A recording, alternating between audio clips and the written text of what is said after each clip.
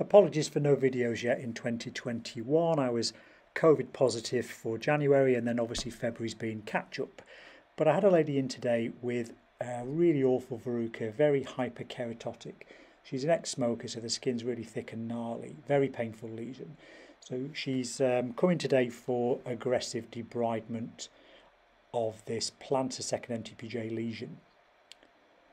Here's a little screenshot. So I've done a video of this of post-local anaesthetic infiltration, which was actually quite tricky and challenging, of um, debriding the bejesus out of this lesion. Then I've put some silver nitrate on to give it another little hit and then followed it up with quite a thick dressing in case there's any post-procedure breakthrough and bleeding. She's, she's also prone to be a, a bit of a bleeder, even though she's not an anti, anticoagulant.